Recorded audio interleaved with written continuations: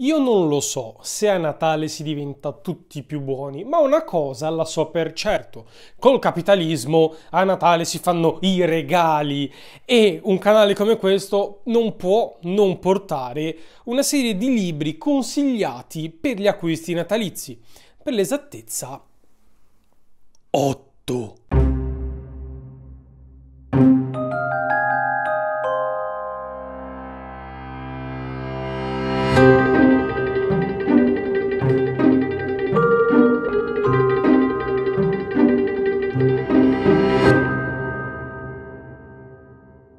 Buongiorno a tutti e bentornati su uno scrittore sul web. Io sono Pietro, H Imp su YouTube e oggi parliamo di 8 libri, anzi non parliamo di 8 libri, oggi 8 consigli per gli acquisti natalizi, ovviamente a tema narrativa. Perché 8? Perché ho guardato la mia libreria e ho detto, mm, ovviamente non ho la più pallida idea di con chi io abbia a che fare nel momento in cui faccio questo video. Chi mi sta guardando? Vi piace la fantascienza? Vi piacciono gli horror? Eh, gli storici? Allora ho detto, va bene, porto questi otto libri di otto generi diversi in modo da cercare di accontentare il maggior pubblico possibile.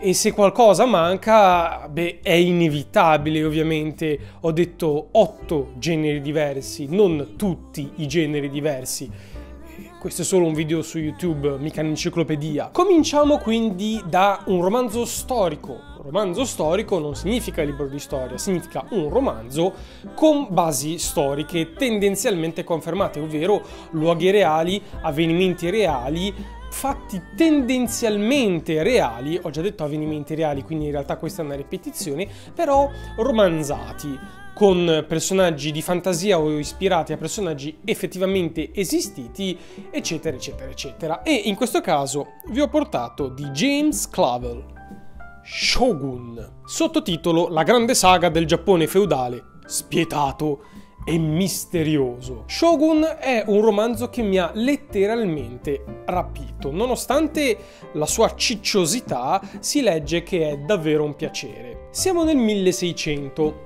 e come ben sapete nel 1492 fu scoperta l'America. Da quel momento l'esplorazione del mondo ha preso un aspetto del tutto diverso. Se si è scoperta una nuova terra immensa come l'America, ovviamente inteso come tutto il continente americano, di cui nemmeno si sospettava l'esistenza, chissà mai che non esistano altri luoghi. Se quelle non sono le Indie e siamo andati dalla parte sbagliata, che cosa ci può essere invece in direzione delle Indie? Ovviamente ci sono le Indie che nell'immaginario dell'epoca erano la Cina, l'India e paesi limitrofi e poi oltre la Cina, oltre il mar cinese, c'è il Giappone. E il Giappone è un'isola in cui il popolo ha un modo di pensare molto particolare. La storia narra di questo marinaio portoghese che si trova a sbarcare in Giappone per scopi meramente, puramente commerciali e si scontra con una popolazione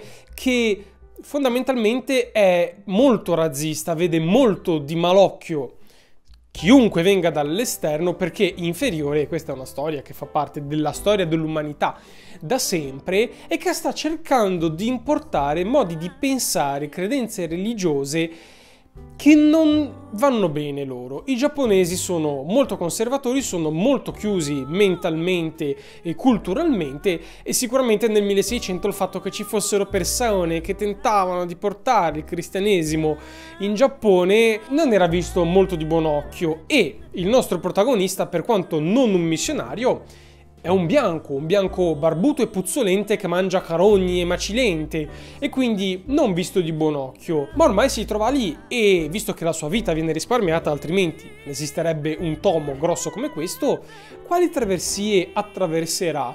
Riuscirà a spezzare il Giappone o sarà il Giappone a spezzare lui? E che cosa significa pensare come un giapponese nel 1600? Un romanzo estremamente ben scritto, estremamente dettagliato, una vera miniera di informazioni storiche e comunque allo stesso tempo a livello di narrativa è da un lato a volte conturbante, talvolta invece appassionante e vi tiene sempre sul filo del rasoio tra intrighi, tradimenti, amori, avventura, guerra e personaggi della psicologia estremamente ben delineata. E quindi questo era Shogun di James Clevel eh, penso che si pronunci Clavel e non Clavel. Abbiamo visto il romanzo storico, eh, bisogna per forza portare un horror, ma non un horror qualunque, bensì il grande classico di Bram Stoker, Dracula. E metto le mani avanti per chiunque mi potesse dire, ma è scontato. Certo che è scontato, se l'aveste già letto, ma per tutti coloro che non l'avessero letto,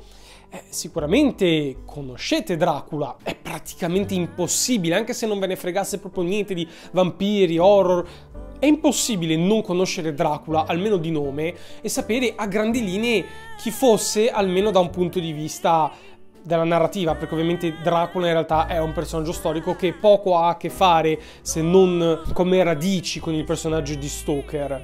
Ma Dracula non è solamente un horror classico, è anche un magnifico romanzo. Si tratta di un romanzo epistolare, significa che è interamente sviluppato attraverso lettere e anche diari e diari di viaggio. Quindi non ci sono mai scene dirette, non ci sono mai scene in prima persona, ma solamente la narrazione postuma degli eventi o tramite lettere o tramite annotazioni personali. E già questo lo rende molto peculiare perché non è affatto semplice scrivere un romanzo in questa maniera, ma Bram Stoker lo fa in maniera eccellente e quindi non è solo estremamente piacevole da leggere, ma da un punto di vista tecnico, se foste comunque aspiranti scrittori o feticisti eh, dei libri in generale, eh, potrebbe essere molto interessante leggerlo anche soltanto per vedere come è sviluppato e comunque Dracula è un fior fior di romanzo con il principe delle tenebre in Transilvania, ovviamente che ci mostra originariamente non nella storia, nella mitologia e nel folklore, perché i vampiri sono molto cambiati nel tempo, ma originariamente dal punto di vista della fama, quando i vampiri hanno cominciato a diventare davvero dei personaggi famosi nel cinema, nella letteratura e così via, come fossero visti, non come i vampiri dei film e delle serie tv di oggi, ma il vero Signore della Notte, con la sua capacità di trasformarsi, con la sua capacità di ammaliare e con la sua capacità di sopravvivere nonostante i tentativi ripetuti di distruggerlo in tutti i modi. E quindi Dracula di Bram Stoker è assolutamente obbligatorio in questa lista natalizia. Al terzo posto, siccome ci stiamo prendendo un po' troppo sul serio tra romanzi storici e horror, Terra di Stefano Benni per farci due risate. In realtà Terra di Stefano Benni, come molti dei libri più datati di Benni, che adesso è anziano e comincia a scrivere delle cose che secondo me sono discutibili, quello che c'è all'interno del romanzo in realtà è profondo. C'è un retropensiero molto sviluppato e ci sono molti temi importanti che vengono toccati, però ovviamente, trattandosi di Benny, sempre in chiave estremamente ironica, è molto divertente da leggere, come sempre scritto estremamente bene e Terra è ambientato in un futuro che non esito a definire distopico, ma in cui la distopia non è data come nei classici romanzi distopici, ma è data in chiave ironica. Benny tipicamente descrive i suoi personaggi, le ambientazioni e gli eventi in maniera sarcastica, come se appunto stessimo guardando uno show di serie B. Le cose che succedono ai personaggi sono spesso e volentieri terribili quasi fantoziane talvolta e come fantozzi strappano inevitabilmente un sorriso perché non possiamo fare a meno di vedere l'umanità che effettivamente nuda e cruda viene presentata nei libri di Benny, ma allo stesso tempo come molte persone trovano ilare ridere delle disgrazie altrui quando uno si fa male, basti guardare le candid camera, i paperissimi e quelle cose lì, inevitabilmente Benny ci porterà un po' a riflettere, ma soprattutto a ridere. E quindi Terra di Stefano Benni per un Natale un po' più leggero e ilare, a meno che non voleste concentrarvi troppo sul mondo disastrato che è riportato all'interno di questo libro. C'è stato un tempo in cui gli zombie erano annoverati nell'horror e lo sono ancora, ma ormai a livello di letteratura a tema zombie, film, serie tv, videogiochi, musica, qualunque media vi venga in mente, ha affrontato gli zombie in maniera massiccia. E tanto che ormai zombie è diventato un genere, praticamente, il genere Z. E quindi, benché io abbia già portato un horror, non posso non portare Apocalisse Z di, Manuel, di Manel Loureiro. Scusate, non riesco mi incarto sempre un po' a pronunciarlo. Apocalisse Z è un romanzo di zombie, ovviamente, primo di una trilogia, una trilogia che va un po' calando verso il finale, ma il primo in particolare è estremamente godibile e, benché dia decisamente adito a un seguito, non sia autoconclusivo, può essere letto indipendentemente senza soffrire eccessivamente poi della mancanza dei due successivi. Scritto molto bene, ambientato una volta tanto in un'ambientazione che non siano gli Stati Uniti, grazie al cielo, bensì in Spagna, ha come protagonista un personaggio decisamente fuori dagli schemi classici della narrazione zombie, è interessante, è di intrattenimento, è ben scritto e dà anche molti spunti dal punto di vista di mm, ma se domani ci fosse veramente un'apocalisse zombie, come potrei difendermi dai morti viventi? Questo è qualcosa che viene spesso e volentieri affrontato sia nei film che nei videogiochi che nei libri a tema zombie, ma in genere sono soluzioni a dir poco rocambolesche. Basti guardare il notissimo The Walking Dead, in cui talvolta per motivi idioti fanno tutti una fine orribile e altre volte le soluzioni sono qualcosa di articolato oltre ogni immaginazione, mentre qui il personaggio è per la maggior parte del tempo da solo e deve arrangiarsi con i suoi mezzi e le sue conoscenze contro un intero mondo che gli dà contro in un certo senso. E ci riesce, ci riesce facendo un po' di disastri ma riesce a sopravvivere egregiamente dando anche degli ottimi consigli anche se dubito fortunatamente che mai saranno utili a qualcuno nella vita reale e quindi Apocalisse Z di Manello Reiro è assolutamente da non perdere se foste amanti ovviamente di letteratura zombie, anche probabilmente lo conoscerete già, oppure se voleste leggere un buon libro a tema zombie, che una volta tanto appunto sia un buon libro. Che non è così semplice. King stesso, scrivendo Cell, ha dimostrato come uno possa essere un grandissimo scrittore e non riuscire a portare gli zombie su carta senza farci una figura orribile, perché è un tema estremamente difficile da portare in narrativa senza scadere nel trash più assurdo.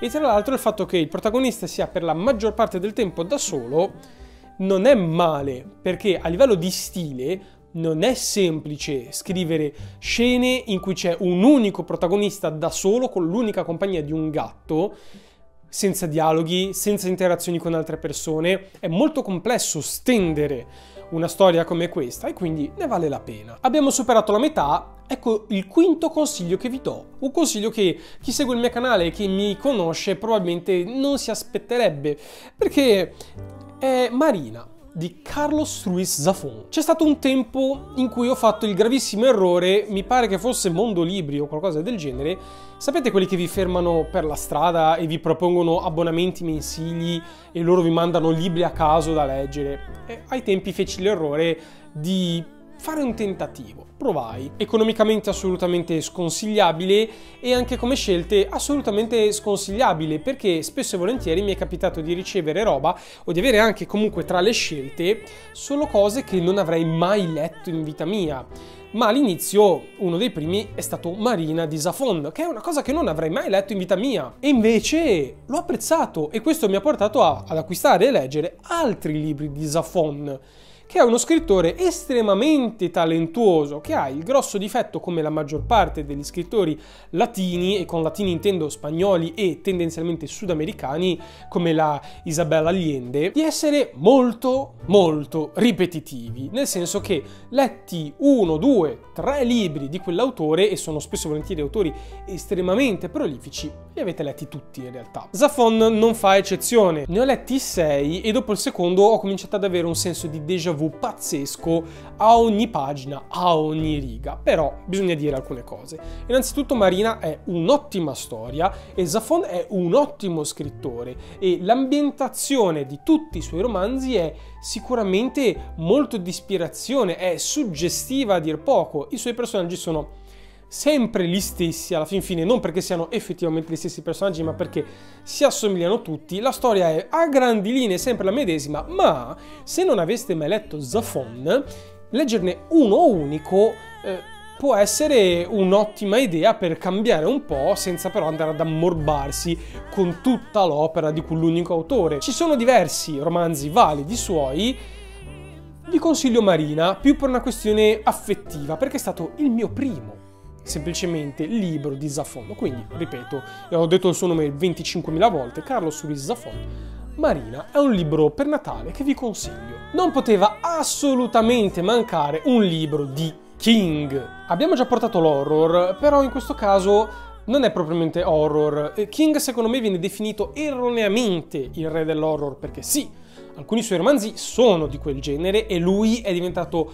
molto famoso per questo e alcuni suoi romanzi molto famosi sono effettivamente horror, ma lui non scrive solo quello, ne è un ottimo esempio, tanto per dirne uno, Il Miglio Verde, ma ha scritto anche dei fantasy come Il Talismano e tutta l'eptalogia della Torre Nera, che non è una cosa da poco, e scrive anche dei romanzi che potrebbero essere definiti tranquillamente dei thriller. In questo caso, scusate se non ho la sovracopertina, ma è usato e così l'ho trovato, Cose preziose, Precious Things di Stephen King. È davvero un ottimo romanzo che può essere lontanamente annoverato come horror, ma fondamentalmente è semplicemente un romanzo. Un romanzo di cui non vi posso rivelare quasi alcun dettaglio perché l'idea fondamentale, l'idea di base dell'intero romanzo viene rivelata man mano che si procede e quindi finirei indubbiamente con il rovinarvi la sorpresa qualunque cosa dicessi. Quindi vi posso dire che Cose preziose di Stephen King è un romanzo molto più profondo di quanto non potrebbe sembrare.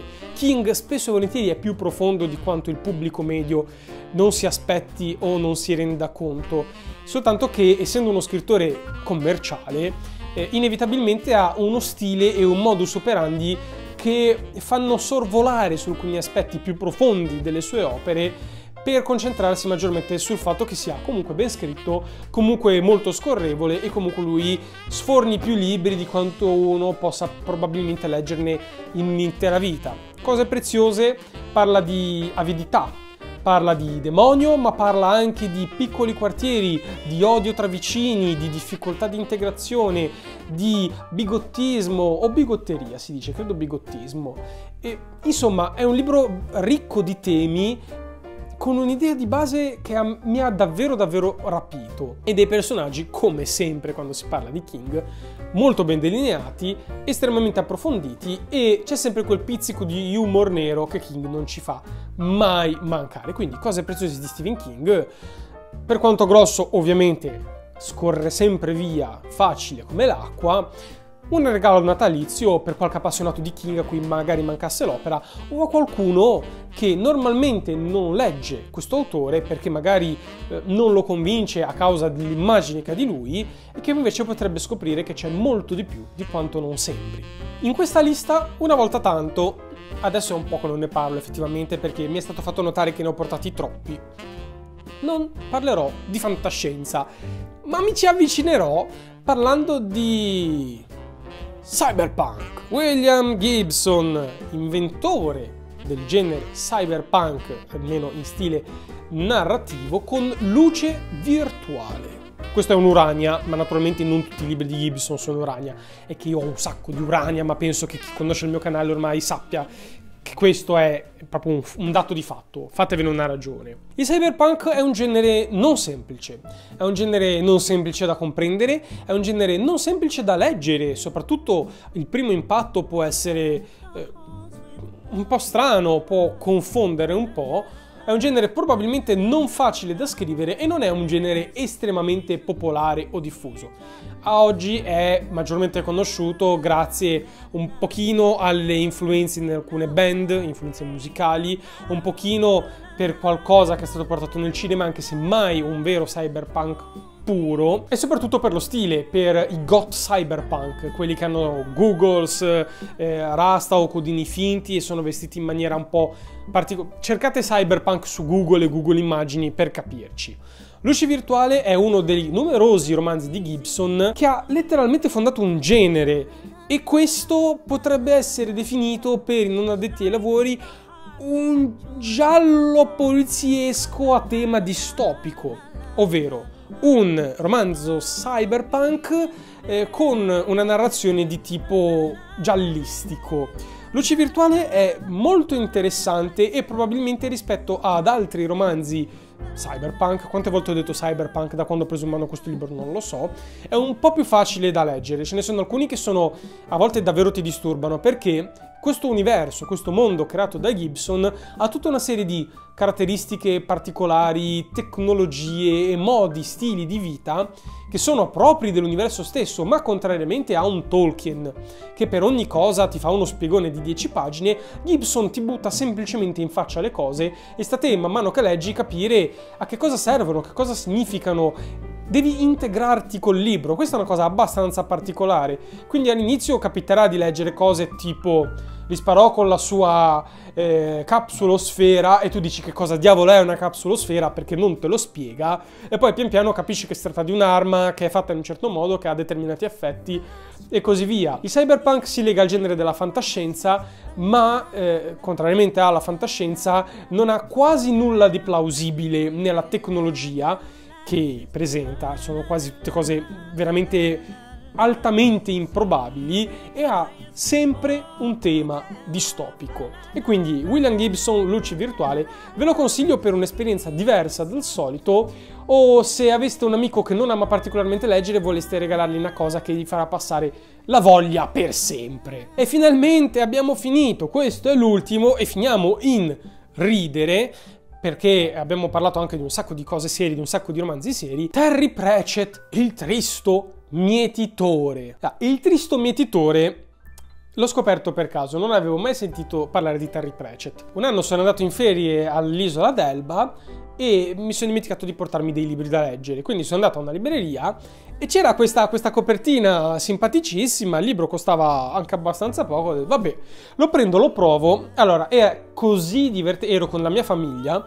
è così divertente che ho passato letteralmente ogni viaggio in auto nello spostamento tra una zona e l'altra a leggere ad alta voce le scene del libro e ci siamo fatti tutti un ridere pazzesco continuamente. Terry Pratchett è il re del fantasy non sense umoristico. Purtroppo recentemente è morto, ma ha lasciato dietro di sé un'opera vastissima. Mondo Disco è un mondo creato da Terry Pratchett appositamente per ambientarvi le sue storie assurde, allucinanti e divertentissime, in cui nulla è ciò che sembra e tutto ciò che è effettivamente è qualcosa di diverso. Il Tristo Mietitore in particolare affronta un tema che è già stato in realtà affrontato in alcuni cartoni animati, in alcuni film un po' meno seri, ma in maniera più approfondita. Comunque il romanzo è abbastanza grossino, anche se devo dire da un carattere, dal carattere abbastanza ciccione, quindi in realtà non è poi questo librone lunghissimo. Ovvero che cosa succederebbe se la morte eh, perdesse il lavoro? E soprattutto, cosa succederebbe sul mondo disco? Un mondo popolato di maghi tendenzialmente anziani e scordarelli, di gnomi, di creature fantastiche, di leggi, regole e città assolutamente fuori dall'immaginario comune, che hanno tutte le caratteristiche per essere definite fantasy, ma si allontanano un sacco dal canone fantasy, ovvero dal canone tolkieniano o dal canone magari che è stato impostato da Narnia piuttosto che dalla bussola d'oro o da altri fantasy classici. È un fantasy stranissimo. La morte viene licenziata e in attesa che arrivi il suo sostituto, improvvisamente tutti cessano di morire. E anzi, ancora meglio, alcuni tornano decisamente in vita e tutta questa enorme energia vitale causa anche un po' di problemi perché l'aria ne pregna e anche gli oggetti inanimati cominciano a prendere vita. E nel frattempo la morte, che da sempre ovviamente ha sempre solo fatto la morte, si trova a non sapere esattamente cosa fare e quindi eh, si cerca un lavoro e affronterà dal punto di vista di gente mortale che normalmente la morte ucciderebbe beh, appunto per mestiere a vedere la vita dal punto di vista di qualcuno che il tempo ce l'ha soltanto per un tempo limitato in concessione. Molto divertente, molto ben scritto, molto divertente non è sufficiente, è esilarante. Terry Pratchett, il tristo mietitore, assolutamente consigliato per una buona lettura che allo stesso tempo vi renderà l'animo un po' più leggero. E finalmente ho terminato 8 libri per Natale che vi consiglio caldamente. Sono tutti otto, ot- mm, è il gioco di parole, tutti otto ottimi libri, sono tutti scritti estremamente bene, sono di generi più o meno tutti diversi, anche se c'è questa tendenza all'horror, me ne rendo conto soltanto adesso. Naturalmente, se voleste acquistarli online senza andare nella vostra libreria di fiducia, qua sotto link Amazon in descrizione per ognuno dei libri che vi ho citato. E detto questo, tra l'altro, a proposito di link e tutto, vi ricordo che ho una pagina Facebook, un gruppo Telegram e un Patreon. Un Patreon, non ce la posso fare a non confondermi. Ho un Patreon che è quel posto dove stanno i patron che mi aiutano economicamente a portare avanti tutti i miei canali, non soltanto uno scrittore sul web, e in cambio ricevono qualche premiuccio, come per esempio alcuni video in esclusiva e la possibilità di mettere becco su, per esempio in questo caso, la prossima recensione letteraria che porterò. E detto questo, un mi piace, un'iscrizione, una condivisione di questo video con i vostri amici appassionati di letteratura narrativa e non diffondiamo un po' di passione di leggere un po' di passione di scrivere nel mondo di YouTube che è tendenzialmente ignorante, criticone e trash e noi ci vediamo lunedì prossimo alle 15 puntuali.